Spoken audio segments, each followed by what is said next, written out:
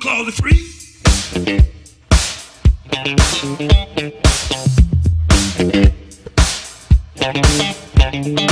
How could you hide?